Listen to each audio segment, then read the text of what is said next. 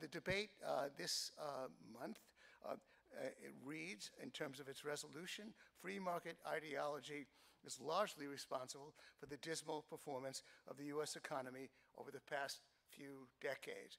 Please vote yes, no, or undecided on the resolution in order to, for us to determine who gets the Soho Forum Tootsie Roll. Uh, and uh, because I am speaking for the negative on this debate resolution, I've got to recuse myself for the rest of the evening from moderating, and I bring you for the rest of the evening uh, uh, Nick Gillespie, editor at large of Reason. Nick, please come on stage.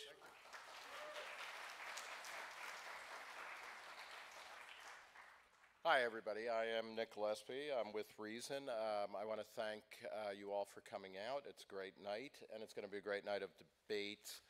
Um, there is, I want to also thank the Donald uh, Smith Family Foundation for uh, helping to fund these debates, as well as Reason, the company that I work for. There are free issues of Reason out in the crowd. Please take them, read them, share them uh, put them on the uh, front seats and the toilets of people that you dislike uh, so that maybe they will learn something new and different and wonderful. Tonight's uh, resolution, of course, is free market ideology is largely responsible for the dismal performance of the U.S. economy over the past few decades. And Binya Appelbaum of the New York Times is the main uh, debater against Gene Epstein. Uh, Binya, could you take the stage, please? Um,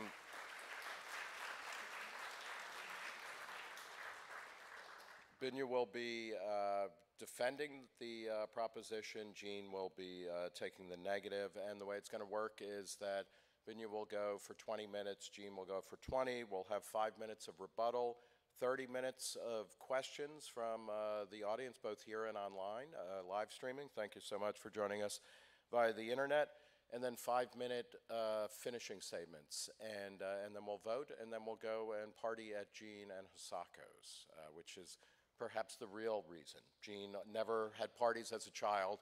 He doesn't like to talk about it, but maybe that's what we're doing here. So um, let's get started. Uh, Binya, could you please uh, take, this, take the podium and make your opening statement? Oh, I'm sorry. Jane, please close the voting. And now, Binya, please take the stage.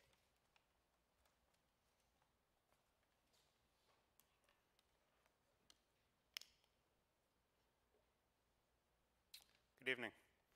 There's a, a joke I like uh, about two men who are standing uh, at a parade, at a military parade, and they're watching as tanks go by and soldiers go by and missile trucks go by. And finally, the last truck in the parade goes past carrying a couple of, you know, guys in jackets and glasses. And the first guy says to his friend, Who's that? And the second guy says, Oh, those are the economists. You won't believe all the damage they can do. Well, my burden tonight is to convince you that there's some truth in that joke. Uh, and, and I think that's going to have to take two parts. The first is to convince you that there is a problem, which may not be intuitive to all of you. Uh, and the second part is, is to convince you that my explanation of the problem is correct. So let's start with the nature of the problem, the idea that the United States economy has, in some important sense, uh, performed dismally. Uh, that obviously uh, runs up against the fact that the United States economy has grown, and in fact has grown more quickly than the economies of other developed nations for the most part in recent decades. Um, and really what, uh, I, and I didn't choose the word, but I think, you know, what I mean when I say that the United States has had problems economically uh, is that our economy has not performed as well as it could have or should have, and in particular that the distribution of our prosperity has been uneven uh, which is both a problem in and of itself uh, and one reason that growth has been disappointing uh, in recent decades. Uh, for me, the statistic that really embodies what has gone wrong economically for the United States is a comparison between the United States and France. I think a lot of Americans feel some satisfaction uh, in, in a sense that we grow faster than France. We compare ourselves to them and, and, think that we're doing better, and in the aggregate we are. The American economy has undoubtedly grown faster than France. Uh, if you look at the period between 1975 and 2006, average household incomes in the United States increased by 32.2% and in France by just 27.1%. comparisons with other developed economies are similar. The United States has, on average, produced uh, more economic growth. What happens, though, if you strip out the top 1% of American households and the top 1% of French households is that the numbers look very different. In America, the average uh, growth in household incomes for 99% of the population is 17.9% over that period, while in France, it's 26.4%. You may notice that the French numbers remain very similar. Not much of the economic growth in France has been concentrated in the hands of that elite, whereas here in the United States, a very large share of the economic growth has been concentrated in the hands of the elite. And by that measure, which to me is more important than aggregate GDP growth, because ultimately an economy is a collection of people, and what we care about is the welfare of all of those people. by that measure, we are underperforming uh, other countries. We're not doing particularly well, frankly. We're growing quite slowly, if by we you mean most of us, and not just those 1% uh, of the population who happen to live disproportionately in this neighborhood, and perhaps some of you are in the audience tonight. Um, second point, life expectancy. Uh, to me, there is no greater measure of the failure of the American economy than the fact that Americans are dying at younger ages than they used to. This is shocking and, before the COVID pandemic, unprecedented in developed societies. There has been a straightforward march upward in terms of life expectancy, with very limited exceptions, for example, during World War II. Uh, but during periods of peacetime, it has been a stable and reliable fact uh, that with each passing year, people will tend to live longer, and that was true in the United States uh, until about five years ago, when life expectancy finally tipped over and began to decline. The driver of this is very straightforward. There's once again a huge disjoint between the quality of life at the top of the economic spectrum and at the bottom. A man in the top fifth of the economic spectrum will live on average in America 13 years longer than a man in the bottom fifth of the economic distribution. And that divide has doubled since 1980. That to me is a shocking statistic. It really speaks to the ways in which our economy is failing a significant portion of our population. There's a final measure by which I think we have a big economic problem, and that's opportunity.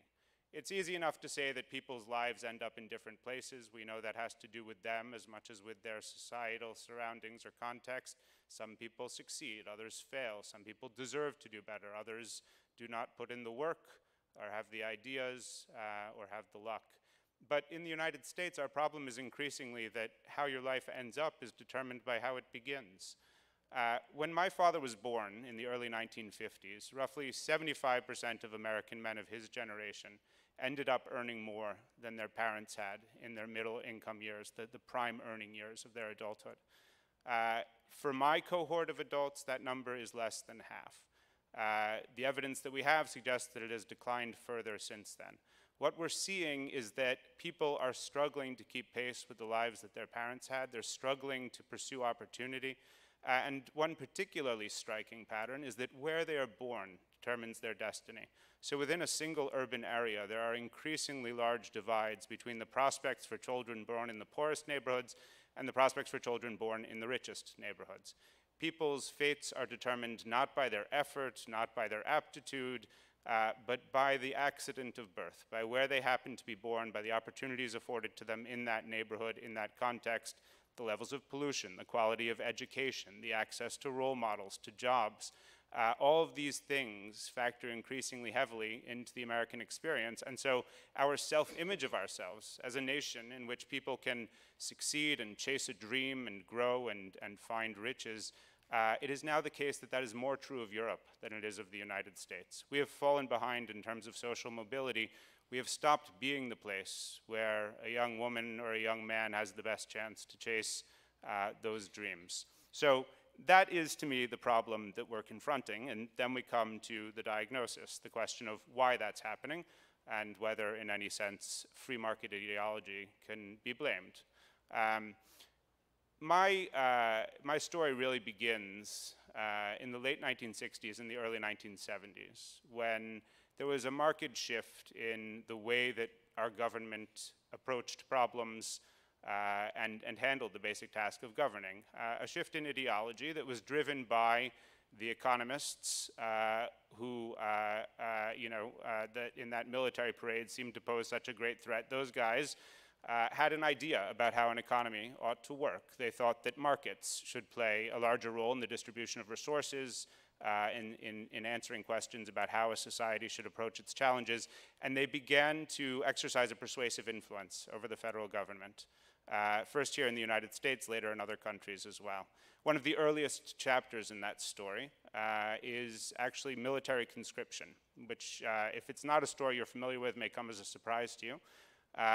Up until the early 1970s, military conscription in this country was, in essence, universal. Not everybody was actually enrolled in the armed forces, but everyone was eligible unless they had some specific exemption. Uh, and that was the way that we and most other developed nations filled the ranks of our armed forces. Well, economists began to argue, uh, and with considerable logic on their side, that this was not an efficient way of finding soldiers. It didn't make any sense to have Sergeant Elvis Presley in the ranks. He would be better off singing. You didn't want to send Willie Mays overseas to fight. You wanted him to stay home and entertain people by hitting home runs. It was very inefficient to take the people who might be teachers or doctors or what have you and send them to be soldiers. What you should do is you should find the people who wanted to be soldiers or pay people enough to convince them to be soldiers, and you'd end up with a better military. People would remain engaged in the military for longer. They would do a better job. They would be better soldiers. Uh, and society would then have the benefit of realizing the potential of the people who didn't want to be soldiers. Uh, this was a very powerful idea, and it was ultimately persuasive to Richard Nixon, uh, who moved to end the draft. Uh, one of the ironies of the end of the draft is it did not end because of the opponents of the Vietnam War. Uh, the end of the draft was not primarily driven by the people who hated the use of conscripted soldiers in Vietnam. It was driven by the proponents of the Vietnam War who thought that by changing the terms of military service, they could uh, temper some of those protests and preserve the ability of the American military to be used uh, in, in, foreign engagements. Uh, and so Nixon acted on the advice of these economists who he had assembled in a presidential advisory commission, which at the time were all the rage, and he got rid of the draft uh, on the advice of those economists, including Milton Friedman, a name many of you may be familiar with, uh, who was probably the most influential member of that commission. That idea, in its application to the draft, may seem like a really good idea to many people. I think it probably was. Uh, but that same principle, that markets should be used to allocate resources, was increasingly applied in other areas of government policy, uh, with increasingly harmful consequences. And so what you see over the following decades is that the government begins to approach all of its nails with this hammer, to take the same set of solutions and apply them to all manner of problems. And that's, that's where things really start to go wrong. And I want to go through just a couple of areas uh, as examples of that to give you a sense of the broader story. Uh, one which I suspect everyone here lived through, although the years march on, is the financial crisis uh, that we experienced uh, in the late aughts, uh, you know, 2008 and forward, uh, which was caused in large measure by the deregulation of financial markets, by the freedom of financial firms to experiment and to sell products to customers that their customers neither understood nor could safely own, uh, with devastating consequences for the American economy. This was a straightforward application of free market ideology to our economy, uh, and the consequences were not wonderful. There are more interesting examples, though. One of my favorites uh, is the work of a man named George Stigler, who was probably Milton Friedman's closest friend. They made a very odd pair. Friedman was very short and talkative, Stigler very tall and thin and quiet. And they'd go strolling around the Chicago campus together, and that image endured in the minds of many of their disciples. They were a pair, uh, and intellectually as well. Stigler wrote a very famous paper in which he argued that the government did not need to regulate cartels uh, organizations of businesses for the purpose of restraining, for the purpose of raising prices and restraining production, uh, because uh, cartels would fall apart naturally. They were unsustainable in a market economy. There was such a huge incentive for businesses to cheat that someone always would. Uh, and therefore, the government could just stand by and let cartels uh, blossom and fall apart, and, and the economy would essentially be unaffected this prescription uh, became uh, dogma in Washington. The federal government embraced it and stopped hunting for cartels for several decades until in the mid 1990s, someone had the clever idea to create a reward program at the Department of Justice where the first company to report its participation in a cartel would get uh, a get out of jail free card, and the other companies in the cartel would be held accountable. All you had to do was to get to the DOJ office first. This was approved as an experimental program. Nobody knew what to expect. Indeed, the guy who created it, who was an economist, didn't think it was going to attract many takers because he understood that there were not very many cartels in the economy. That was, you know, the thing that he expected. But what happened almost immediately is that companies started rushing to the Justice Department to report that they were participants in cartels. The program was overwhelmed. They had to assign more staff to it because it turned out that actually George Stigler was completely wrong and that cartels were remarkably common in American business and unfortunately remain surprisingly common right up until the present day. I was just reading a story about real estate companies getting together to set prices for apartments uh, using uh, algorithms to determine the prices that they would all collectively charge. So this type of business behavior remains remarkably persistent uh, and needs to be regulated. It doesn't go away on its own. Cartels do not fall apart just because the market economy says so.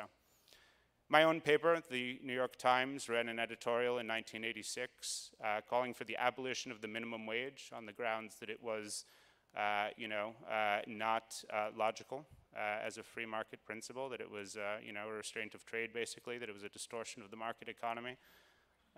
we've learned since that that was not a great idea. The evidence suggests that labor markets actually are inefficient and that you can set a minimum wage, not any minimum wage, but you can set a minimum wage uh, without reducing the number of people who are employed uh, in a given area. It turned out when you went and looked at the evidence at the ground level, uh, what we thought was true from economic theory and what had reshaped economic policy for a generation was in fact uh, not the right set of conclusions to draw. I can go on with examples. Probably one of the most important is that our failure to regulate externalities is currently causing the planet to overheat. But the bottom line is that markets don't work by themselves. And if you allow them too much freedom to roam, what you get is outcomes that are bad for the market and bad for the people who live in that market economy. And that's really the point that I want to make, you know, as, as I move to the conclusion here, is that uh, markets and society, markets and, and the government exist in a form of productive tension. Too much market, too much government, and you get bad results. What you need ultimately is balance. What you need is that dynamic back and forth tension between the two where you're constantly trying to find the right point between them uh, and not let things slip too far to one side or too far to the other. During the coronavirus pandemic, we all learned the importance of government uh, investment in basic research, in government support for the development of vaccines, in government coordination of the distribution of medical supplies. Uh, we learned that if you allow some things to be produced solely in China, you can end up in a strangely vulnerable position when you need those things. Uh, those are all functions of government uh, that had been allowed to wither and that had been uh, allowed to fall by the wayside, and in the absence of which people suffered and quite literally died uh, for an absence of government in their lives. Um, democracy ultimately needs to hold markets accountable and make them work. The, the purpose of a government is to structure the marketplace in ways that deliver the outcomes that people want and need. And what people need in their lives is a degree of economic security and a degree of access to opportunity. One very interesting finding from the work of an economist named Pietra Rivoli is that the level of anti-trade sentiment in the United States, opposition to globalization, is much higher, or was over the last couple decades much higher, than in nations with stronger social safety nets. And her theory is that in nations that afforded their citizens access to health care on a guaranteed basis, that provided stronger minimum wages, stronger retraining programs, that basically said, listen, you can fall thus far but no further. We're going to make sure that life does not get any worse than a certain minimum level, that in those nations, the stakes seemed lower to the workers, and they were more willing to accept the types of changes that a market economy can ultimately use to produce dynamic and beneficial results.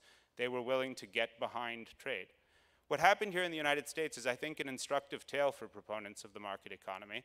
The thing that they wanted, the thing that they believed in, the thing that they regarded as an engine of prosperity, and I may say so do I, I think that trade is really important, but it's not sustainable as a political proposition if you are not tempering it with uh, programs that meet the needs of your citizens and ensure that those who are the short-term losers in the inevitable redistributions caused by free trade are getting what they need from society as a whole, are recompensed for their losses, so that the proposition that trade can be beneficial to everyone, which is undoubtedly true, becomes the reality that trade is beneficial to everyone rather than the more common uh, reality in which some people lose because that redistribution never happens. We are living with the political consequences of that experiment, and the lesson for people who constantly emphasize the beauty of the market is that the market is beautiful, but it's not sustainable if it's not potted in a garden in which people can get what they need uh, and do not need to fear the consequences for themselves.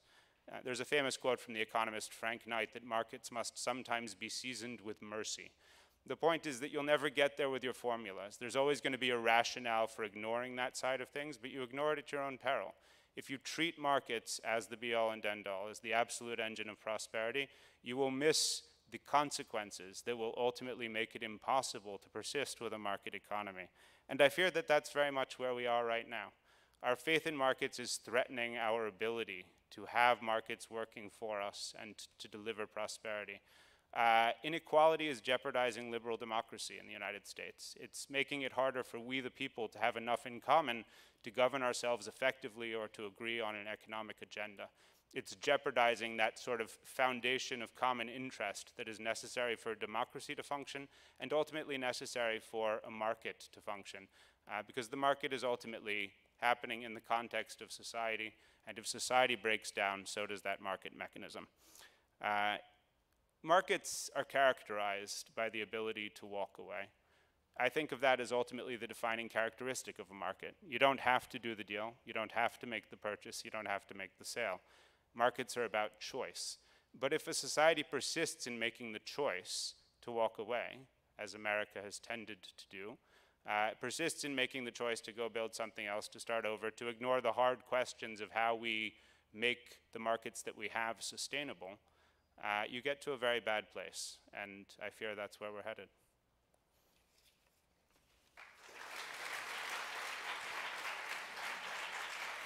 Thank you uh, very much. Uh, Gene Epstein, uh, 20 minutes. Just make sure this is working. Yeah, okay. Yeah. So please start my time now? Okay. I believe uh, that the economy's disappointing performance over the past few decades is largely due to progressive ideology. But I'm relieved that I don't have to convince you of my view in the brief time allotted, since it's a vast topic. Binya has graciously taken on the burden of proving his view that free market ideology is largely to blame. I hope you don't come away thinking that the free market properly defined, bears even partial responsibility. But even if you do, you'll still vote against the more ambitious resolution Binya is defending. Let me begin with a couple of trends that should put the implausibility of Binya's case in perspective. Progressive ideologues generally believe government spending is too low and government regulation too limited, and they generally seek an increase in both. Free market ideologues believe the opposite and seek a decrease in both. Binya believes free market ideologues have had undue influence. But in these two major areas, progressives have gotten their way on both counts. Take government spending. Uh, as this chart shows, total government spending on the federal, state, and local level has, had already risen to 30.5% of nominal gross domestic product by 1969, and government spending has accounted for a higher percentage of nominal GDP in every year since then. Notice we hit an all-time record of 43.7% in 2020 and fell back to 40.9% in 2021, the second highest figure and the most recent year available. Now consider government regulation. As this chart shows, there were 180,000 pages in the Code of Federal Regulations by 2019, the most recent year available, a tripling since 1969's 58,000 pages. That's pretty compelling evidence that the burden of regulation has greatly increased. Now let's shift our focus to widening income inequality. The evidence is clear and compelling that much of the greater inequality in the vital area of labor compensation can be traced not to the free market, but to the increased role of government in thwarting the mobility of labor in the free market. Start with government's imposition of restrictive licensing requirements that make it costly in terms of time and money for workers to switch to higher paying jobs. The percentage of workers subject to such requirements has jumped from 10% in 1970 to nearly 30% today, and two thirds of the increase has spread to more occupation, uh, virtually all of them covering jobs that the less educated could take. Studies have shown that these requirements do virtually nothing to improve the quality of service in these jobs, but are simply the same old use of government power to keep out competition. In his 1962 book, Capitalism and Freedom, free market economist Milton Friedman had already called for a rollback of restrictive licensing requirements then in place.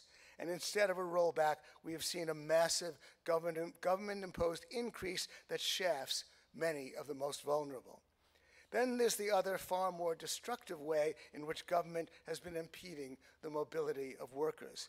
This is the accelerated rise since the 1960s in government imposed rules, regs, and restrictions that make it increasingly expensive to build housing in high wage areas like New York and San Francisco. The resulting scarcity of supply has driven up the price of housing in these areas, making it increasingly costly for low wage workers to move to these areas and to take advantage of the higher wages. Here is how one account summarizes the problem. Quote, high income workers still enjoy a net wage premium when they move to a high wage area and thus still have an incentive to move. But for less skilled workers, the regulatory tax on housing wipes out any wage premium. As a result, college grads continue to move to human capital hubs, while less educated workers who would stand to gain the most by moving are kept away by artificial scarcity, unquote. With college grads benefiting and less educated workers shut out, we have a perfect recipe for the widening gap between the earnings of the two groups. A 2019 peer-reviewed study by two economists, quote, quantifies spatial misallocation of labor across U.S. cities and its aggregate costs, unquote. As the economists explained, quote, misallocation arises because high productivity cities like New York and San Francisco have adopted stringent restrictions to new housing supply, effectively limiting the number of workers who have access to such high productivity, unquote. They put the cost to workers at an absolute minimum at a staggering 9% of gross domestic product. A New York Times column of February 24th helps sound the alarm on the issue in the New York area. The author calls for, quote, a change of the rules so that, quote, developers could begin to build more of the housing that New York so desperately needs without spending decades begging for permission, unquote.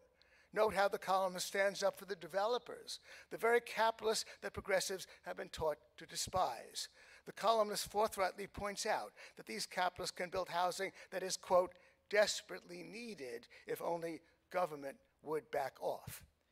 Well, that admirable column was written by none other than my debate opponent, Binya Appelbaum. But if Binya can argue for unshackling the free market in housing, that logically requires him to abandon his argument that it's largely to blame in the area of widening income inequality.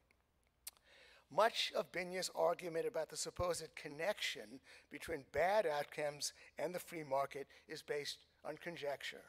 But he does make one attempt to demonstrate that his argument is not merely conjectural, which I want to take seriously. His very specific claim about the pattern of slowed economic growth over the period he covers. His argument is that free market ideology began to dominate by the late 1960s to the 1970s, and that as a result, economic growth slowed in each of the decades that followed. I'll show how his factual claim does not quite withstand scrutiny. In a podcast interview, Binya made due allowance for the difficulty of explaining why economic growth slows. Quote, our understanding of growth, he stated, is highly incomplete, and we are to some extent talking about things we don't fully understand, unquote. But despite conceding a limited grasp of the factors that cause economic growth to slow, he still claims to find a trend that lights up the road. Quote, but it is a fact, he goes on to say, that average growth declined in every decade from the 1960s through the aughts in the United States, adjusted for population. And it is a fact that during that period, we saw a fundamental shift in our approach to managing the economy, unquote. The fundamental shift he refers to is, of course, the alleged ever tightening grip of free market ideology. He continues, quote, if we think that that approach, promoting free market ideology, was consequential, it's not unreasonable at least to wonder about how it might have affected that trend, unquote. To emphasize the importance he places on that trend, let me also quote this from his book, quote, the market revolution went too far. Growth slowed in each successive decade during the half century described in this book, adjusting for population and inflation, unquote. Notice he emphasizes that each successive decade suffered a slowdown from the previous decade.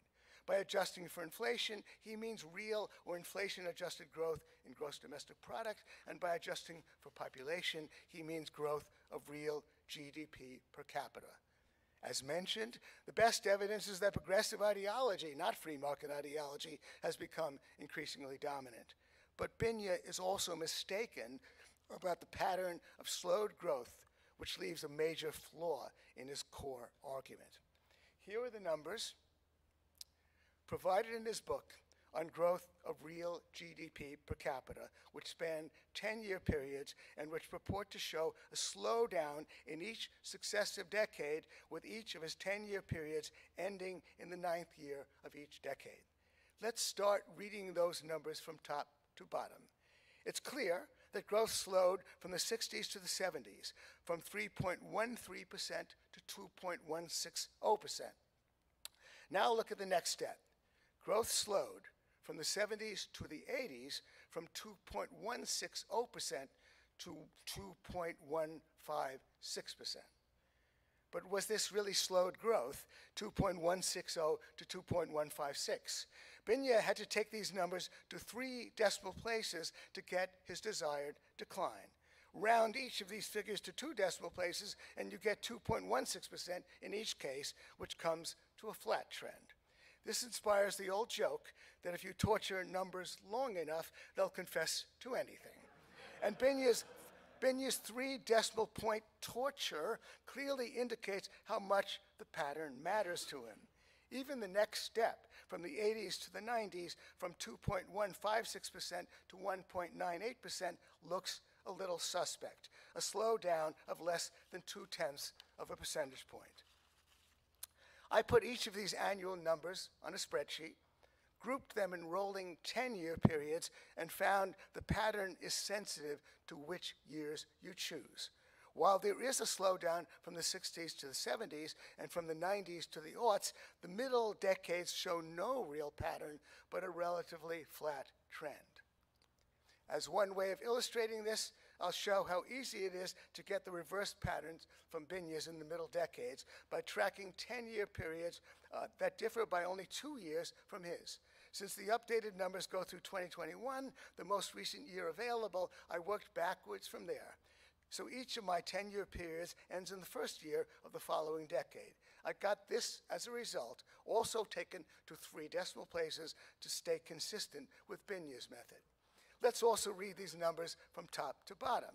We see a similar decline from the 60s to the 70s, from 3.070% to 2.040%. But from the 70s to the 1990s, we get a slight acceleration instead of Binya's slight deceleration. 2.040% in the 70s, 2.046 in the 80s, and 2.329 in the 90s.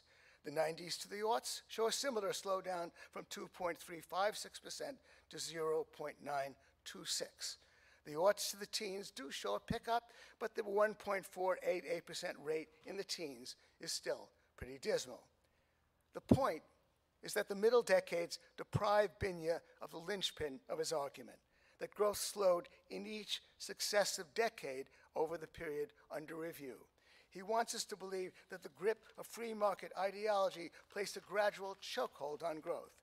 Now we are forced to believe the alleged impact was felt only twice somewhat prematurely from the 60s to the 1970s, since by Binya's own account, free market ideology was beginning to wield, only beginning to wield destructive influence in the 70s. We then find zero impact in causing a slowdown in growth from the 1970s to 1980s, which included the presidency of free market ideologue Ronald Reagan, and zero impact from the 80s to the 90s. Instead, we had to wait nearly 30 years until the aughts for the impact to be felt a second time. The corrected trend must send Binya back to the drawing board to devise some other attempt at a coherent narrative. Given the relative incoherence of his current narrative, his initial disclaimer still applies. Quote, our understanding of growth is highly incomplete, and we are to some extent talking about things we don't fully understand. Unquote. I could elaborate on a totally different explanation for the slowdown in growth since 2000 that I regard as more plausible, having to do with the decline in the Economic Freedom Index since 2000, which reveals the declining influence of the free market. But I want to use the time remaining to make two more general points. I'm about to quote from a passage in Binya's book that betrays a certain mindset about the free market.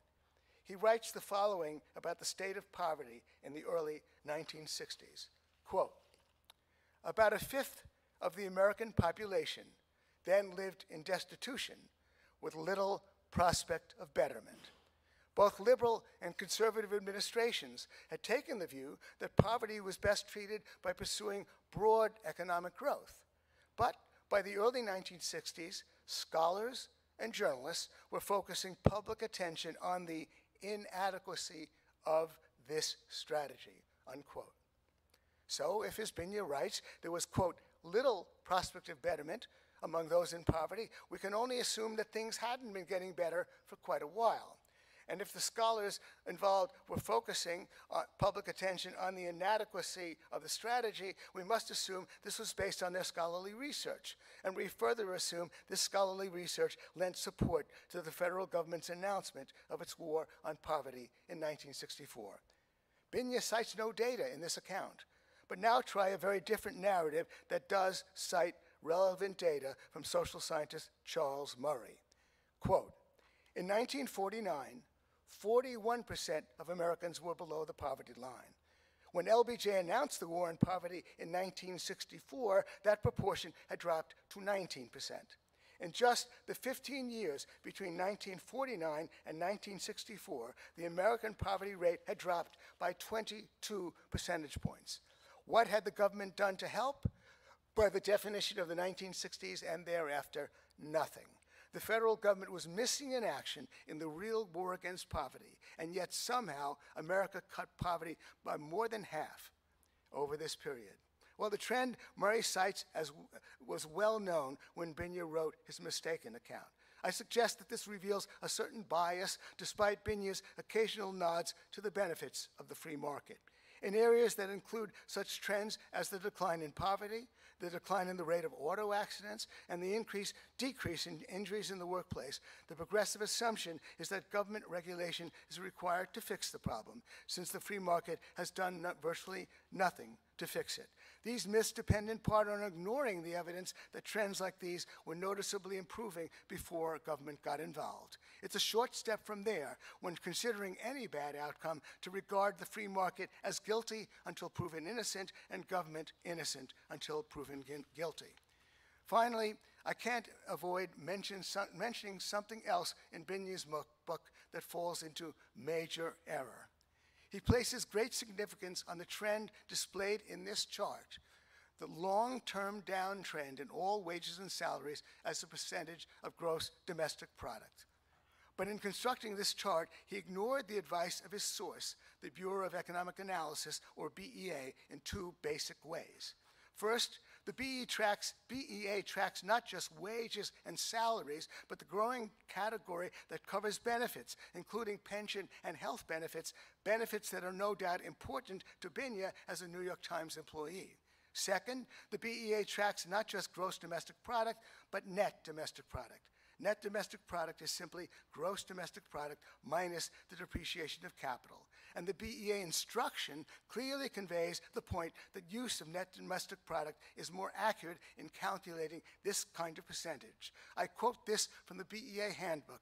Net domestic product is a measure of how much of the nation's output is available for consumption or for adding to the nation's wealth. Unquote. Well, here is Binya's chart through the second quarter of this year, which takes wages and salaries as a percentage of gross domestic product. Now, here is the same chart with the corrections I take from the BEA. Labor compensation, which includes wages, salaries, and benefits as a percentage of net domestic product. Notice that Binya's downtrend disappears in this corrected chart. Properly measured, it turns out to be a relatively flat trend and not, as Binya has written, a smaller share of the pie. So I, I encourage him to go back to the drawing board on all these issues. Thanks.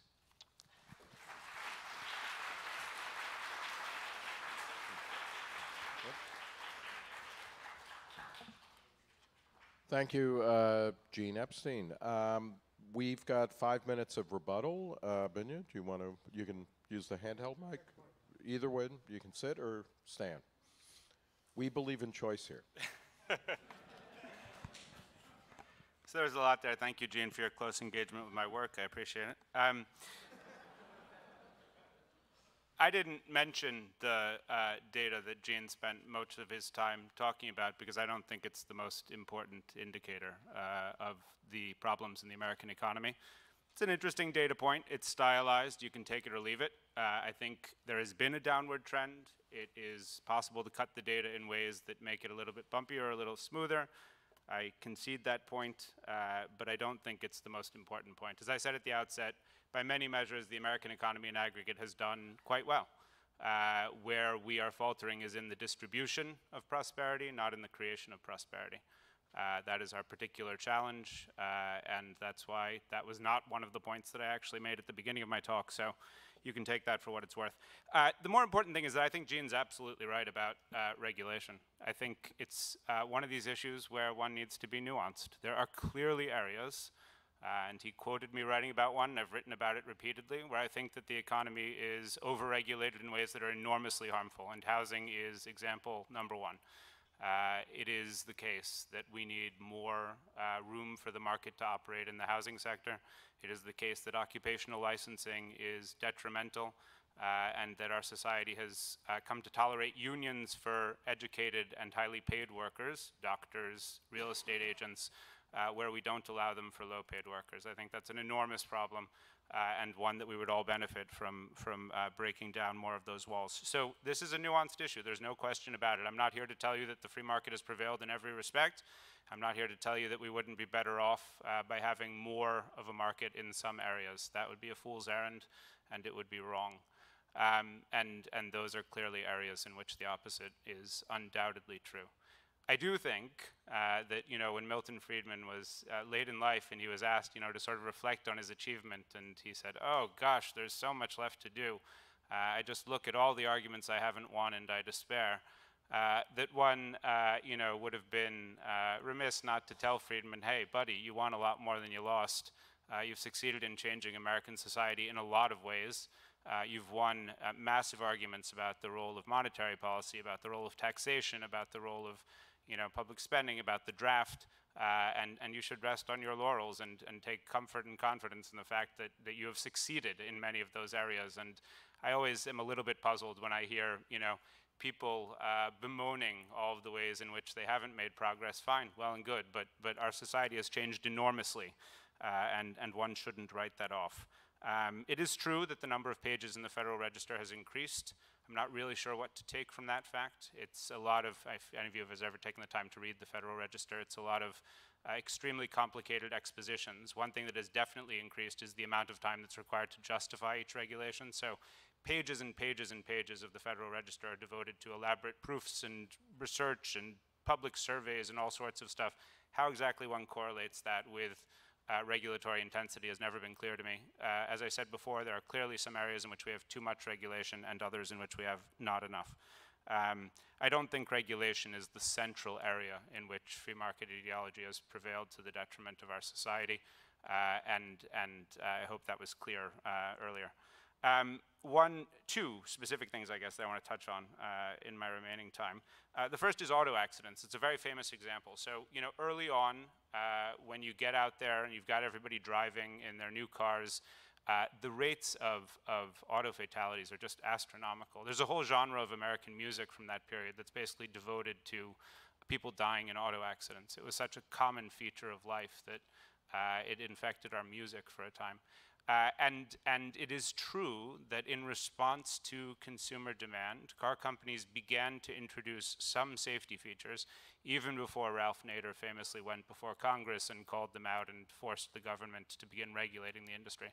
It is also true that the, that the auto industry was assiduously resisting many of the features that are now standard on American cars and have contributed to a much sharper decline in auto fatalities since the advent of federal regulation than before it. Uh, and the reason for that is quite simply uh, that you need both things. Consumers can't get there on their own, they need government to help them. Final point, those BEA numbers, uh, that was a very fun illustration, but the important point there is benefits. Uh, what those numbers take into account uh, is the growing share of your compensation that comes in the form of healthcare benefits.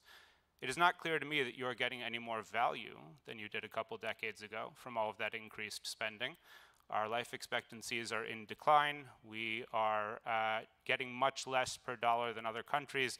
But if you want to include healthcare and take seriously the proposition that it's several times more valuable now than it was then, then by all means, you can reverse that chart.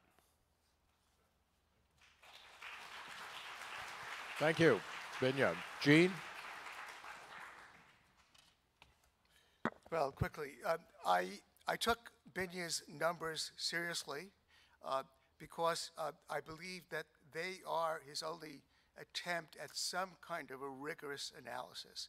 Otherwise, to make a statement about how this bad thing has happened and, uh, and look, the, the, the, the free market guys have been sounding off more than they used to, I think is conjectural. So I wanted to take his analysis seriously, and that's why I quoted him, emphasizing those numbers both in an interview and in his book.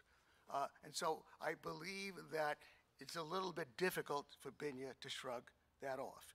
With respect to the federal, the pages of the Federal Register, 58,000 pages to 180,000 pages, a tripling, more than a tripling from 1969 uh, that should be compelling enough evidence the burden of regulation is greater. And of course, Binya didn't even question spending by uh, uh, all levels of government.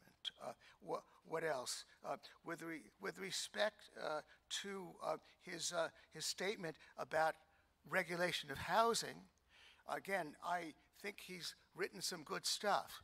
But the thing that he does not seem to directly confront is the very important research that has shown that so many of the things that he's talking about, uh, the difficulty of the bottom half to get decent jobs. It's not just this idea that, that poor people would like to move into the neighborhood and have decent housing.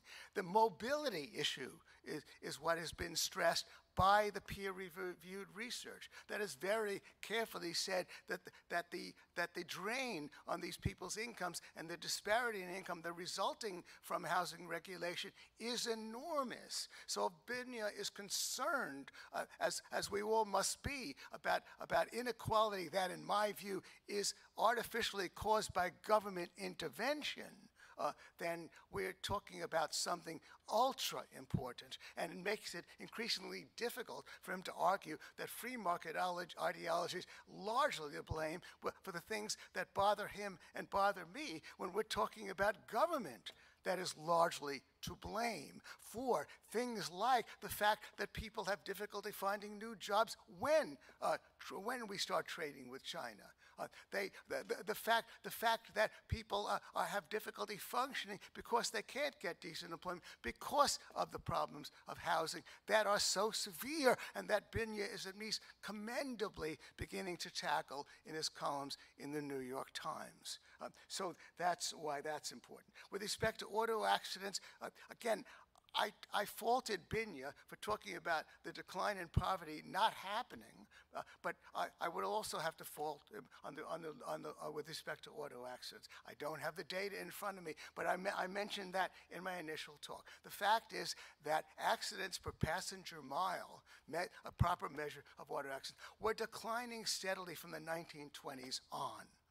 Another factor to bear in mind as well is that so much of the, of the intervention by government to make cars supposedly better and more expensive has meant that people of limited means have difficulty affording these cars, difficult affording, uh, affording a used car with, with, le with less than 100,000 miles on it, so they buy the older cars that, could, that are more dangerous by virtue of being old. So again, uh, uh, he's, he's showing a certain indifference to the law of unintended consequences. But again, my point is that the auto accidents has been a widely cited point by those in the free market. The, the, the auto accident rate was declining from the 1920s on. And, and that kind of bias, I believe, is something that Binya should overcome. Well, uh, I guess, uh, oh yeah, I guess I want to show one other thing, uh, and, uh, and that's the following. I hope you can look at this. Uh, Binya has talked about fixing prices and about cartels. Uh, let me show this chart. This is the PCE chain price index that the Federal Reserve follows. And the only thing I want you to be aware of is that 12 month change in price inflation from the 70s to the 80s to the 90s into the aughts, when, when supposedly all those price fixing cartels were taking over, uh, has gotten more and more mild until, of course, 2021, when other things began to happen having to do with the printing of money take a look at airline fares there too. The airlines were supposedly carteling, they're supposedly organizing against us, and yet if you look at this chart, the prices of airline fares based upon the CPI were, were going negative through the aughts. So again, I would want him to show me some evidence in the official prices that cartelization is such a problem. Thanks. Uh, oh my God. Oh, yeah. Thank you, Gene. Okay, we're now at the uh, question and answer period. So if you have a question, would you please line up in front of the microphone? Uh, you can identify yourself or not, uh, but you must ask a question, not give a speech. Um, and while people are queuing up, uh, there's only two there, and I would expect that most of the audience would be rushing over there. Um, can I, I just want to ask, uh, I'll take the moderator's prerogative to ask each of you a question. Gene, uh, kind of philosophically, um, is it possible for you to admit that market forces, an increase in market freedom or market forces, could lead, lead to worse outcomes? Do you believe in market failure, or regardless of whatever evidence that Binya marshals or not, you'd be like, it can't be the free market because the free market never does anything wrong. Markets fail us all the time. Markets face us, face us all the time in, in the economic realm. Government in the economic realm faces, uh, fails us more often. And so, for that reason, uh, I would want to say that, again, the approach that Binya is taking is he sees a problem and the problem may exist. Uh, and it may be due to markets. That I, I, I, can't think of a good example offhand, but it may be due to markets. The question is, for example, do we have auto accidents? Are cars as well made as they might be? Well, is government doing us more harm than good, more good than harm? We don't know for sure. We have to look at it a little bit more carefully than progressives look at it. But again, I want to emphasize, again, markets fail us all the time. It's a non sequitur to say that government is the solution. Okay, thank you. Uh, Binya, can I ask you uh, quickly? Does this your your argument is based that we've you know we've had dismal economic performance relative to the past or relative to what might be, because of an increase in free market ideology throughout society. Does the fact that the United States has lost ground in the, in the 21st century pretty continuously in every index of economic freedom or of global business competitiveness, does that temper your argument at all, or do you, or not? So I think that you know those indices are are interesting creatures. They they tend to be uh, produced by advocacy groups, but I- I think that there is no doubt, as I've said several times tonight, that there are areas in which the United States does restrict markets to the detriment of our economy and our society. Uh, and then I think there are areas in which we are, are overconfident in the value of markets. So it is a complex picture, and there are undoubtedly areas in which, you know, we're doing the wrong thing by not relying enough on markets. Uh, I, I don't think that I am compelled by the evidence that we are, in some aggregate sense, you know, moving away from a reliance on markets. I don't see that happening in a meaningful sense. So if that's the question, um, I'd want to see more evidence for that proposition. Okay, let's go to the audience. Sir, please ask a question. My question is for Binya. In that program that you mentioned where they were uh, looking for cartels, do you know how many were identified and how many were regulated or how, how they were regulated? I mean, I don't have the numbers here off the top of my head, uh, but uh, they, the regulation was that, I mean, if a cartel is, is illegal, so if they have evidence of a cartel, they take a criminal enforcement action against it, and there were some famous cases in that period. Probably the most famous is the ADM price fixing cartel that became a, a big Hollywood movie.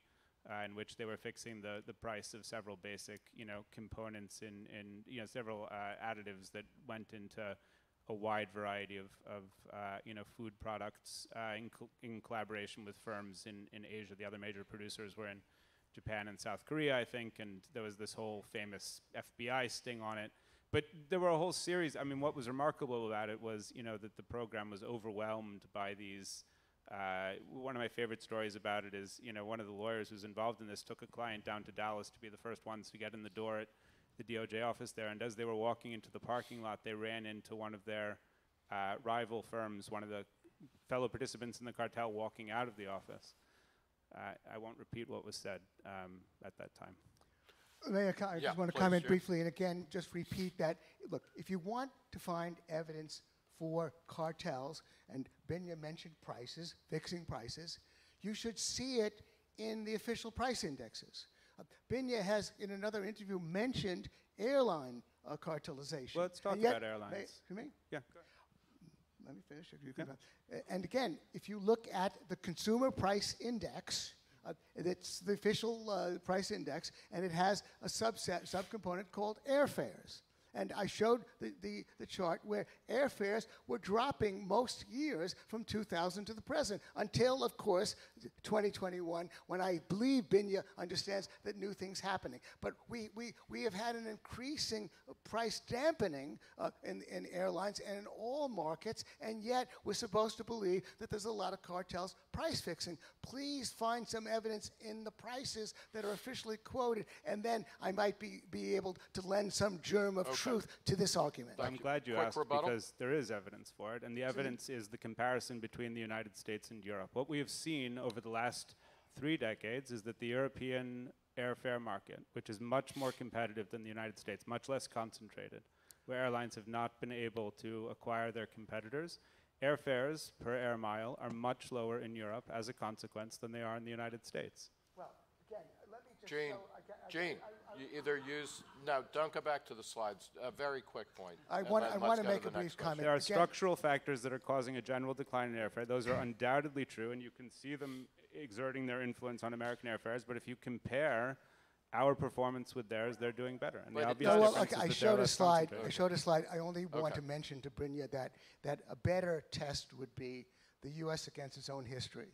Uh, and the slide I showed was that airfares were from the 80s to the, ni- to the 70s to the 80s, the 90s. Every decade thereafter, successive decade, airfare inflation dropped. So a better comparison would be the U.S. market against itself. And in most years in the aughts, All right. per airfare Okay, prices I'm gonna, were I'm going to ask that we move on to the next question. I think you both have aired this uh, very well. So thank you. Sir, question. This question for Mr. Appelbaum. So, I think Wait, most I'm sorry, did you say it's roundabout? No, Mr. Appelbaum. Okay, thank you, because I was going to say if it's a roundabout, hit the road. It's going to be very direct. Um, I think most people would say that two of the biggest reasons for the poor performance of the U.S. economy in recent decades are the last two big recessions, the one since you know, COVID and also the 2008 recession.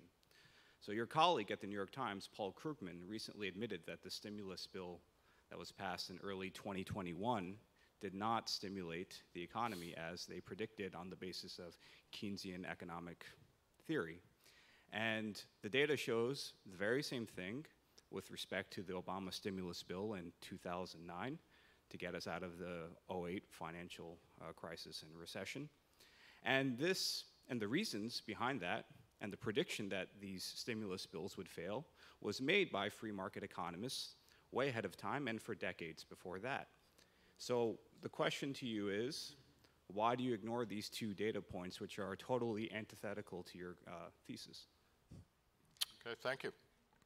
So, first of all, uh, as I think I mentioned, I, my, my view is that the 2008 recession was caused by the deregulation of the financial industry. It's a classic example of the government getting out of the way and allowing people to uh, wreck their cars, as it were.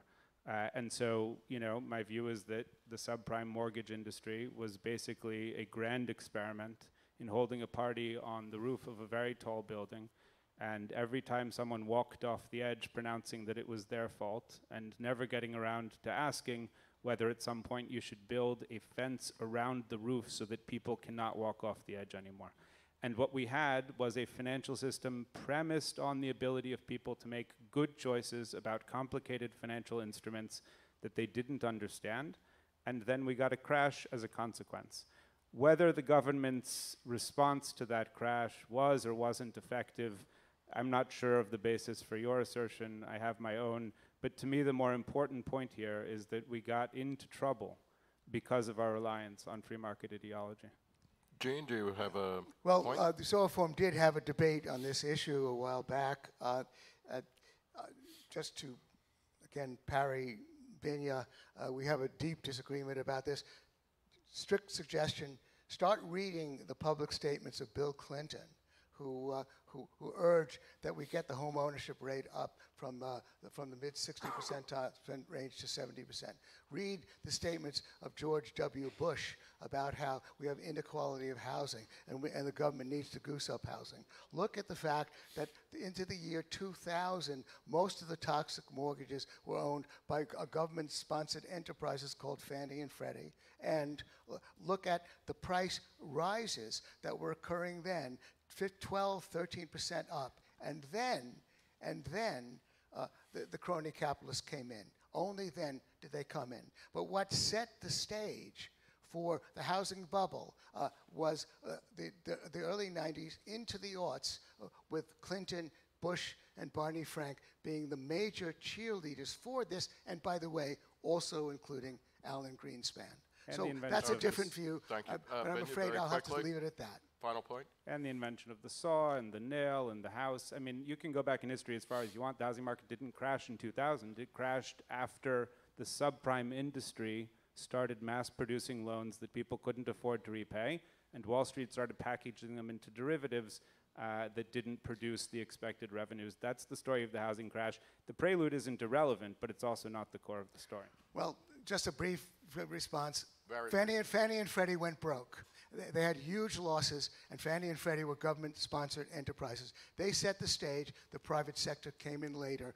Lunatics, by the way, who were not the mortgage broker, who would not give you the mortgage. They were they were a preacher of the federal government as well. We have a deep disagreement. It has Thank to you. stand there. Yeah. Well said. Uh, question, sir. Yes, um, thank you for the debate. It was very uh, enticing. My name is Brendan, and my question is more at a philosophical level, which is that um, I think just stepping back, this is, we've kind of been down this road before where there's been a lot of populism of the left and the right, a lot of anti immigrant sentiment, um, and just general negativity around the U.S.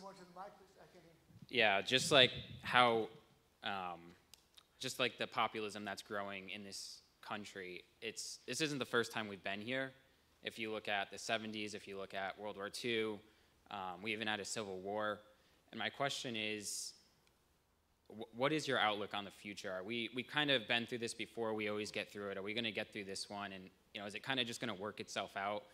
Um, what's your thoughts on that? Okay, is that, Outlook on the for future, both? please take it, Binya. I, um, Gene quoted me earlier saying that I don't know much about the past. I know even less about the future. So I'm not sure how to answer that question. Well, uh, uh, my, uh, my future is that, first of all, I want Binya, uh, just my narrow uh, focus tonight, is I want Binya to write more uh, articles about housing for the New York Times. They're very good, and I want to send him the citations and the research on why it's so fundamental in causing the very thing that concerns them so much, uh, widening inequality and, and uh, short lifespans of, the, of, of Americans. I- I'll just so say- that's what I want for the future, and I think Binya's headed in the right direction. He's had a few pieces Okay, on thank that. you. There's a member of the audience who came up to me at the beginning of the program tonight to say that she wished that we achieved consensus in tonight's discussion. Gene, I mean, listen, on housing, I am 100% with you. Well, we've, we've done it. Well, again, yeah, I think you want to put more of a cutting edge. All right. And Let's, uh, Ben- let's go to a new question. you Gee, wanna- don't, don't spoil the moment. okay? Don't spoil the moment.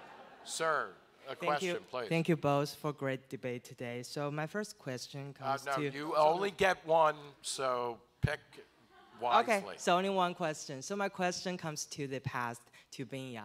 Since like Gene provided two key data to define if the U.S. economy has become more and more uh, regulated in past decades, do you agree with him? If not, how how do you define if an economy is more regulated or free? And besides the comparison between U.S. and Europe, thank you. Thank you. I appreciate that we're regulating the number of questions. Um, I would say that I think that it is very difficult, and there have been very, very sophisticated efforts to do this, but to define regulatory intensity, the, d- the way you definitely don't want to do it is by counting pages in the Federal Register, which is, I'm not sure what it's a metric of. But there are clearly areas in which I think any reasonable observer would conclude that the economy is less regulated than it used to be. The airline industry is a great example. The federal government used to regulate prices, the number of seats, where you could fly, what kinds of sandwiches you could serve. There was a federal agency that did all of these things. That agency no longer exists. The government no longer regulates those things. The airline industry has a lot more freedom than it used to. Financial markets, another example where there has been a clear trend toward deregulation. We've seen uh, you know, in, in that area. And, you know, conversely, there are areas in which the market, like housing, has become much more regulated. So how you aggregate all of that across an economy, how you figure out what regulatory density is, it, it's a really complicated theoretical issue. I don't think there are good answers. I will just repeat what I said at the outset, which is that I don't think the intensity of regulation is the key respect in which uh, free market ideology has, has exercised its influence over the American economy. Uh, I have a question for you, Binya, picking up on that. I, I thought you were basically uh, thought that uh, the abolition of the, the CAB uh, and uh, That's the was a Civil thing, Aeronautics That, that deregulation was a good thing. Uh, yeah. I So I, I think it had positive effects, yeah, yeah, and, and if it had been coupled with antitrust enforcement, it might have been an entirely okay, happy story. Okay. Yeah. Uh, sir, question. Uh, for Mr. Appelbaum, you mentioned uh, life expectancy flattening or, or declining and uh, carbon emissions growing. Uh, but my understanding is that life expectancy declining is largely driven by obesity and drugs, kind of cheaper food and cheaper drugs available, and carbon emissions by uh, more energy consumption. And so, is this not uh, dismal, but rather we're kind of trading bad problems for better problems? Yeah, I mean, the, the sort of the agony of excess is kind of an American phenomenon, right? But so I, I think that you know the best research on this has been done by Ann Case and Angus Deaton, and and they talk about what they call uh, you know the deaths of despair. This sense that we're seeing increased uh, younger mortality uh, among you know in particular lower income Americans who have lost hope, lost the ability to function in the economy, lost the ability to find meaningful employment and that they have turned to drugs and unhealthy lifestyles and in many cases even suicide as a consequence. Uh, so you know that that's it. There is absolutely the opportunity to you know do these things because we live in a society of abundance. The question is, do people have what is the nature of our relationship with that abundance? There's a healthy way to live in that context and an unhealthy way, and you know the decline in life expectancy reflects people making choices that they didn't used to make, and the question is why. I'll, Well, uh, just again- very again- quickly, I'll just point out that quick- two-thirds of deaths of despair are men. Um, absolutely, So, yeah. you know, Yeah, well- deal with that. But Gene, you were, Yeah, I, again- I I again- also want to point again- out Gene is now 75, 77? You are the opposite of a death of despair.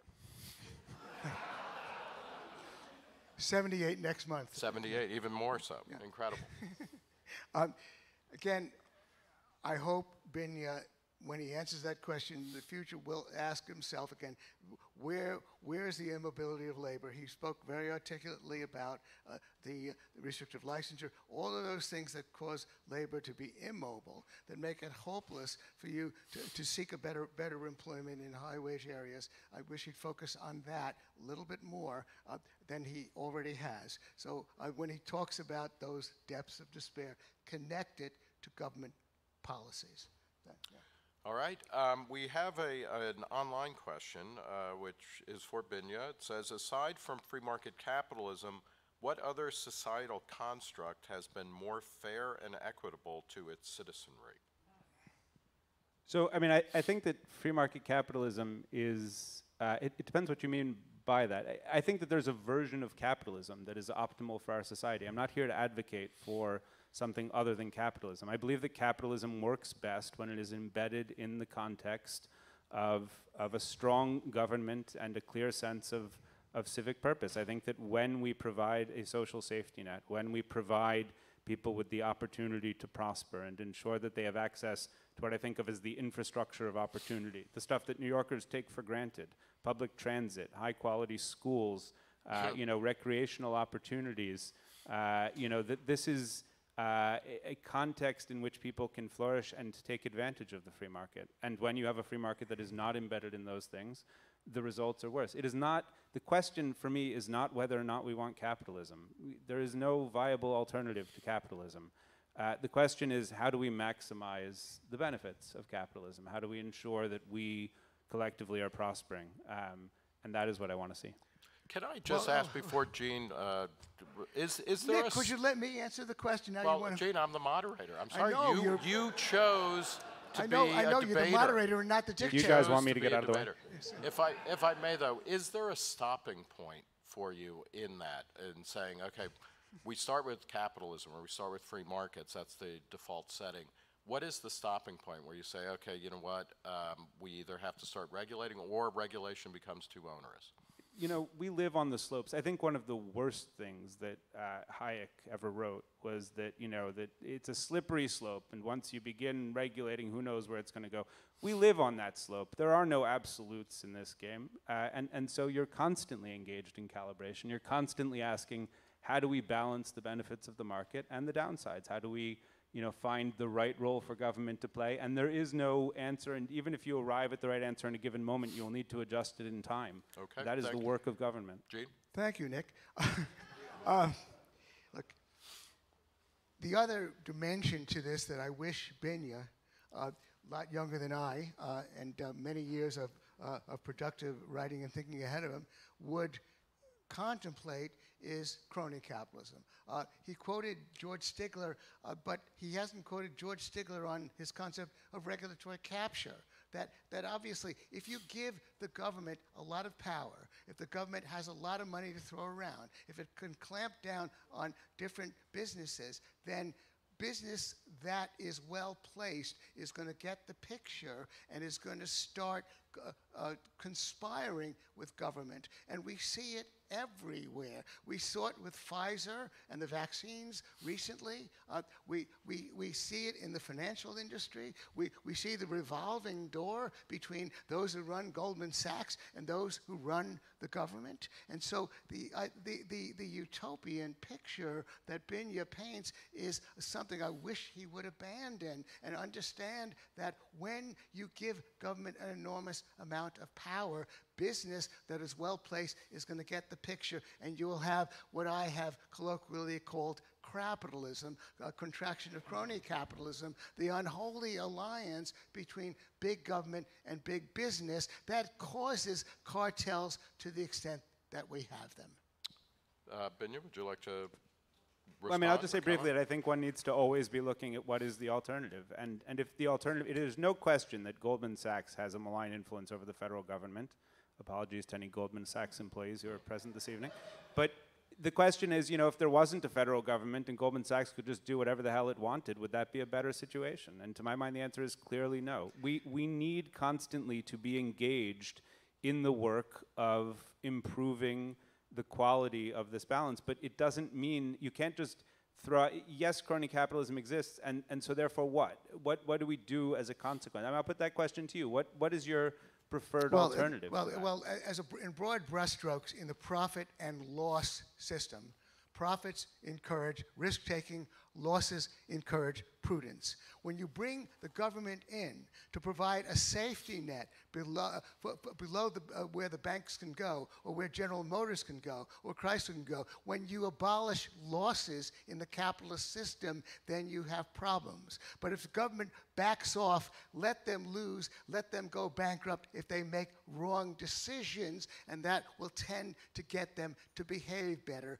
because capitalism can sometimes be pretty cruel to those capitalists in charge if they make wrong decisions by imposing on them losses in the, in the profit and profit and loss system known as capitalism.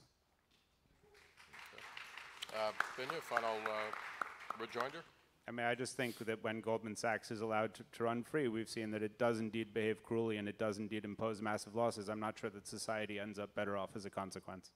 All right. I think, thank you for that exchange. Thank you for your questions. Thank you for your online question as well out there in the dark. Uh, Gene, you have five minutes of a closing statement. the, negative goes last. Oh, I apologize for uh, disrupting the flow. Uh, Binya, you have five minutes to, uh, to bring it on home.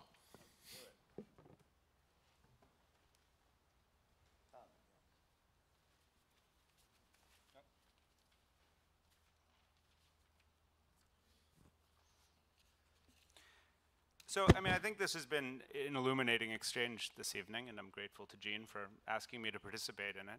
And what I really want to emphasize in closing, uh, which may not be the best strategy for a debater, but uh, it's closest to where I think the truth lies, uh, is that we are dealing with uh, a calibration issue. It is not the case that we are going to live in a world in which markets get to decide everything or in which government gets to decide everything. Those are not the choices that we're confronted by. And often when I hear these types of questions debated, I hear a reflective tendency to, to frame things in those terms and to assert that, you know, government is the problem or that markets are the problem. And the reality, in my view, is that the problem is an improper or incomplete or imperfect synthesis of governments and markets. Karl Polanyi, who was a wonderful writer in the mid-century and lived through a lot of bad things and drew some pretty bleak conclusions from the experience, wrote that there is a constant negative tension between society and the market, that they uh, exist in a state of trying to debilitate each other. Uh, the market constantly preying on society, society constantly preying on the market. Uh, and I think that that bleak vision actually gets things wrong.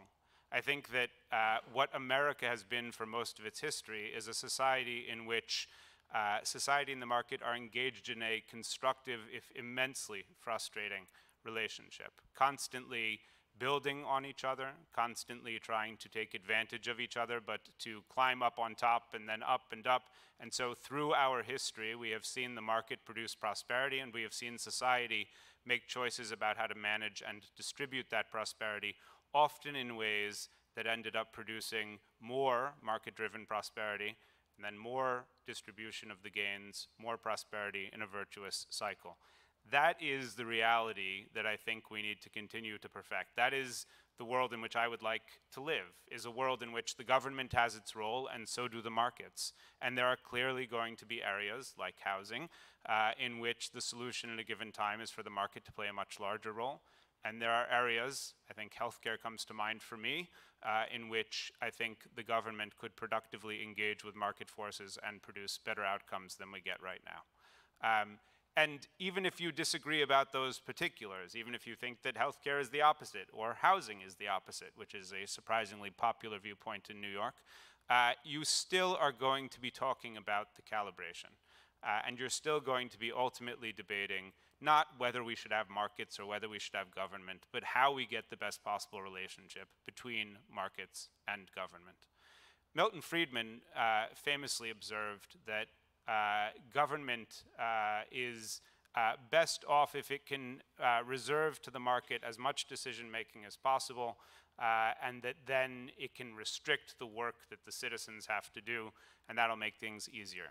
if you can limit the number of decisions we need to arrive at collectively, uh, you'll limit the burden uh, of making those decisions. And I've always thought that he got things fundamentally wrong. Uh, that in that respect, what you really want to be doing as a society is exercising your collective decision making capacity uh, because it's a muscle and it needs to be used in order to uh, grow stronger and in order to produce better results. Uh, and so I think that, you know, for me, uh, when we talk about these questions about you know uh, how we get the best results in auto safety or how we get the best results in the airline sector or in housing for that matter uh, you know the very fact that we're here having a discussion tonight the very fact that these are discussions that people have all the time reflects a tendency not just to rely on market forces but to want to manage them and to want to think about the role that they play in our society and to want to make rules that allow them to play uh, that role as productively as possible um, I'm just going to go back to the beginning uh, uh, in closing, uh, because Gene's harped on it several times tonight. I gave you three specific metrics at the beginning, three data points by which I think our society uh, has deteriorated in recent decades. I told you that the distribution of growth means that for most Americans, the uh, economic prosperity uh, has not lifted their ships as much as it has in other countries. I told you that average life expectancy has been in decline, and particularly for those who are uh, the least well off in our society. And I told you that the chances that you will do better than your parents have sharply declined as economic mobility in our society has declined. Those three problems, in my view, are all rooted in the failures uh, of our ideology, of our governing ideology, uh, in a tendency to rely too much on market forces uh, in, to make that balance imperfect. Uh, it's my belief that if we corrected that balance, not to get rid of the market, but to introduce uh, government as a stabilizing force, that we would get better results. Uh, and with any luck, I've convinced some of you of that this evening. Thank you. Thank you very much, Binya Appelbaum. Gene? Well, uh, you know, uh, we, we might uh, think in terms of the, the history that I've lived through uh, since I was born in 1944 is that uh, back, back in the 1960s, uh, John Kenneth Galbraith, who not an economist I respect, but I certainly read him, was talking about the dominance of the cartels like General Motors, and then cut to decades later, and uh, General Motors is a basket case, and uh, Barack Obama bails out General Motors. Uh, uh, we, uh, we've recently had a, moment when a, a, drug company, Pfizer, brings out a vaccine and, uh, and the government protects Pfizer uh, against any liability. And, uh, and so again, I would only emphasize that, that, that the lure of power, the lure of money is such that inevitably if you're going to get government more involved, you're going to get business more involved. You're going to get not more free market capitalism, not more of anything what that Binya honestly wants. You're going to get more crapitalism. Um, more crony capitalism, and that's the danger. The housing market is indeed a crony capitalist market because the established developers in the inner circle like it because they have friends in government. Uh, they can build and they don't have to suffer competition. And so that too is something that Binya should argue against. When he speaks nicely of the developers, which I think is good, he, he should understand that some developers actually continue to want scarcity in housing. Some landlords want scarcity in housing. Obviously, it keeps the rents up. So that too is the crony capitalist system that I wish Binya would do more to object to. But broadly speaking, I, I want to certainly give Binya the Tootsie Roll for character development this evening because I believe that he's given sufficient ground to, to, to basically concede my point. He has graciously, graciously borne the burden of, of, of arguing that the free market is largely responsible. And yet he's given ground on so many points that, that he seems to be arguing both uh, earlier, earlier after, after we spoke and, uh, and now most recently in a summation that it's a mixed bag. And I don't have enough time. We've raised so many issues about what's gone on in the last 50 to 60 years. As I say, it's a vast topic. I believe the Federal Reserve should be abolished. I think the Federal Reserve is part of the problem. It's not a free market. The Federal Reserve is not a free market institution. It's, it's Soviet style planning for the money supply and the interest rate, and it's caused the inflation that we're suffering. At least it's been part and parcel of having caused it. Initially, of course, it was the huge pileup of debt in, in, uh, starting in March 2020, which the Federal Reserve then underwrote by printing money, and then that money printing uh, went into the economy, and now we're looking at 8% eh, price inflation. But the Federal Reserve didn't exist, it wouldn't be there to underwrite all of these things. So that's a very long story, and I haven't had the, nearly enough time to touch on any, any aspect but the surface of it. But all I want to say really is that Binya has raised some points, I've raised some points, but he's basically failed to bear the burden of showing that the free market bears law is largely responsible when he's already manfully and graciously conceded so much in our debate this evening. Thank you very much.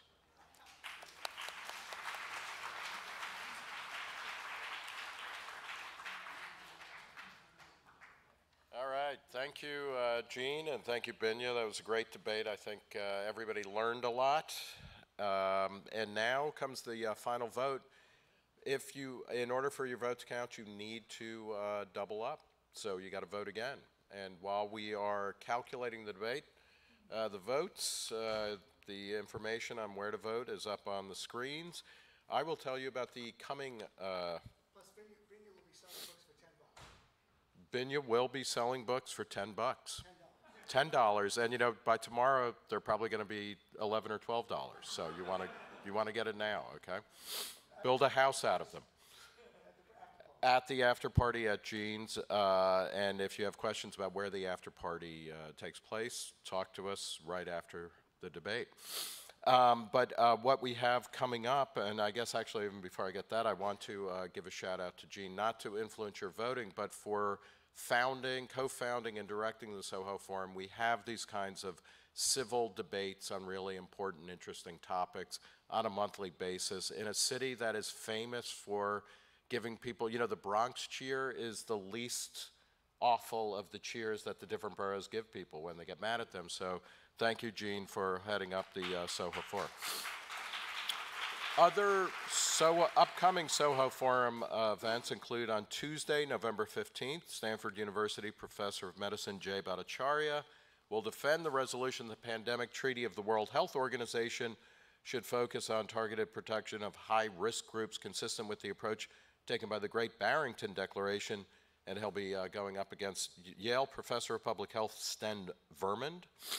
On uh, Wednesday, December 14th, National Review editor in chief Rich Lowry will uh, defend the resolution Nationalism is an important value that Americans should support against Cato Institute senior fellow Alex Nowrasteh. On Thursday, January 26, uh, University Mason, George Mason University professor of economics Lawrence White will defend the resolution replacing the Federal Reserve with free market institutions would significantly improve the money, the economy's money, banking, and financial systems. And he's going to be going up against Columbia University professor of banking, excuse me, and financial institutions Lawrence Mishkin on February 21st, Tuesday. If you're counting, Mises Institute senior fellow Ryan McMaken will defend the resolution the breakup of the United States into distinct regions is a workable option likely to bring a marked improvement in human affairs. And he's going to be going up against Libertarian Party Classical Liberal Caucus Chair Jonathan Casey. In March 23rd, on Thursday, March 23rd, Ayn Rand Institute Executive Director Yaron Brook will defend the resolution anarcho-capitalism would definitely be a complete disaster for humanity. And he'll be uh, taking on George Mason University economics professor Bryan Caplan. That should be a fist fight. Monday, April 24th, Cato Institute Senior Fellow Alex Nowrasteh will come back and he will defend the resolution U.S. immigration policy should be, uh, U.S. immigration policy be should, should uh, excuse me, U.S. immigration policy should be to issue immigration visas without numerical limitations to all applicants who are not on a terrorist watch list and who do not otherwise have criminal records, contagious diseases, or cell phones that go off in the middle of people reading upcoming events at the Soho Forum. And he's going to be taking on Manhattan contrarian blogger Francis Menton. Those are fantastic debates coming up. How are we doing on the vote? Anyone? Is anybody counting? Okay. You need a little bit more time?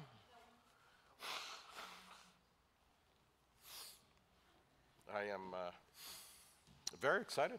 Okay, so now, uh, as uh, we recall, and I will probably screw this up because I am a multiple English major up through the PhD level, so, you know, I outsource my math to people like Gene. Um, but this is an Oxford style debate, so the winner is the person who gets more people to agree with them over the course of the debate. So, in the before the debate, the uh, yes votes, the people who were agreeing with Binya, correct? That was 7.37% of you. And we are going to take it, I'm surprised we're not taking it to a third decimal place, given what that means. Um, so the, the people starting out who uh, agreed with Binya was 7.3%. Gene, the agreement with Gene was 68.42%. So Binya went from 7.37% to afterwards 16.84%. So the change was 9.47. Uh, and I guess I should also uh, tell you, uh, just to keep the suspense going a little bit longer, uh, the undecided people were 24.21% before the debate. Uh, but so the no people, the people who are on Gene's side, went from 68.42% to 74.74% for a gain of 6.32%, which means that Binya Appelbaum came into the tiger's den and bearded the lion, just to mix many metaphors. Binya is the winner. Thank you. And, and he gets the Tootsie Roll, which, by the way, is one of, I think, one uh, item that has defied inflation. I think it might be as cheap as it was when these first started pulling fillings out of uh, people. Binya. Thank you so much for coming out. Um, go to the reception, buy a book, talk with Gene, enjoy Hasaka's fantastic uh, buffet. Um, it, it's truly a world of wonders. Thank you all for coming, and we'll see you on Tuesday, November 15th, when Jay Bhattacharya and Sten Vermund discuss things.